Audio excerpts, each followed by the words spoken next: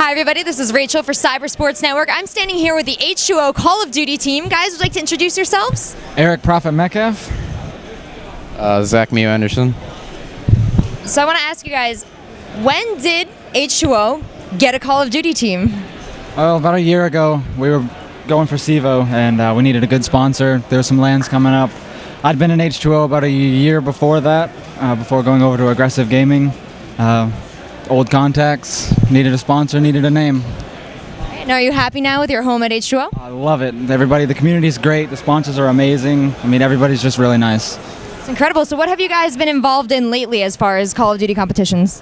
Uh, well, a few months ago we did do a tournament in Frag Nation. We placed first against Vaulted Gaming. Uh, we did have a second place in like a 1v1 shoddy tournament, you know, a little play around to just to prove our uh, our versatility. Also, we are now in an ESL season. Um, kind of picked up a new roster, so we're changing things around a little bit, but it's going great. We're building a lot of chemistry. Uh, a really, really versatile team we have built right here. And I'm actually more familiar with the Call of Duty team on Xbox and the Call of Duty, excuse me, competitive scene. So, can you guys fill me in on what it's like competing in Call of Duty online on the PC? On PC, we have a competition mod called Pro Mod. Removes all the perks, all the attachments, all the really noob stuff, and it's more like Counter Strike Source uh, or, or 1.6. And the teams are just it's it's fast. I mean, we have a minute and a half uh, round time, and it's just it's fast. It's it's like a mix of Quake and old school COD.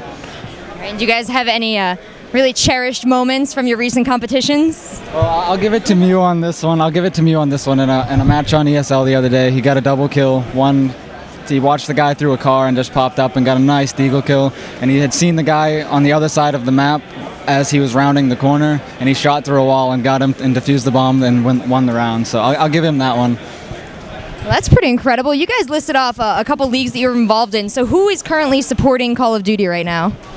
Oh, we got ESL, uh, Cyber Gamer. We got CSN doing some some stuff. We got Nerve Five coming up. Um, I mean, it's slowly coming back. I mean, Black Ops and MW2 really hurt the North American community for for Call of Duty, but it, it's slowly coming back. Right. And what do you guys have planned in your immediate future as far as competition and uh, exposition of your team? I know you're traveling around. You're here at QuakeCon. What are you guys doing in the future? Nerve Five's definitely uh, Beyond Gaming is going to send us there, our sponsor. Um, we expect to, to place top three there easily.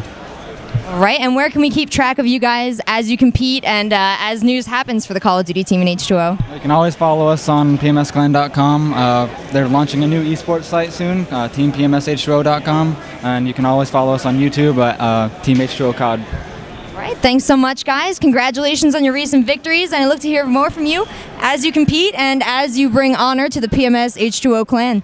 Thanks a lot. Thank you. Thank you.